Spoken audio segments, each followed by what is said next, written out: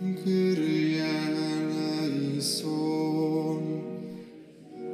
20 marca wspominamy świętego Wolframa, biskupa. Wolfram przyszedł na świat około roku 647 w Mili. Państwem frankońskim rządzili wtedy Merowingowie. Ojciec Wolframa należał do miejscowej arystokracji i był związany z dworem króla Chlotarda III. Wolfram nie marzył jednak o karierze świeckiej, ale już jako młodzieniec wstąpił do stanu duchownego. Przez pewien czas pełnił obowiązki kapelana króla Chlotarda III i Teodoryka III. Wśród duchownych, których w owych czasach zawsze było pełno na dworach królewskich w nadziei dobrych stanowisk, Wolfram wyróżniał się tak dalece cnotą i wiedzą, że został mianowany metropolitą w Sens. Widać jednak było, że tak wysoka godność mu nie odpowiadała.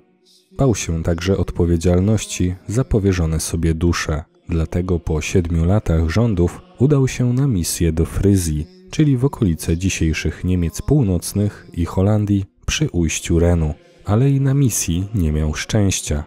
Powrócił więc do Francji i wstąpił do benedyktynów Fontanelle.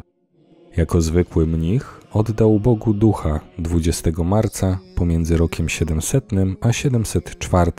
W roku 1639 relikwie jego ramienia otrzymała katedra w Sens.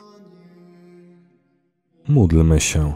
Wszechmogący Boże, obchodzimy wspomnienie świętego Wolframa, biskupa, który słowem i przykładem przyczyniał się do dobra wiernych. Spraw, abyśmy doznawali skutków Jego wstawiennictwa.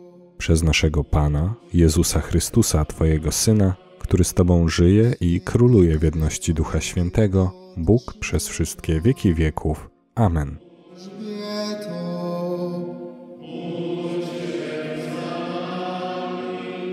Wszyscy święci, święte Boże.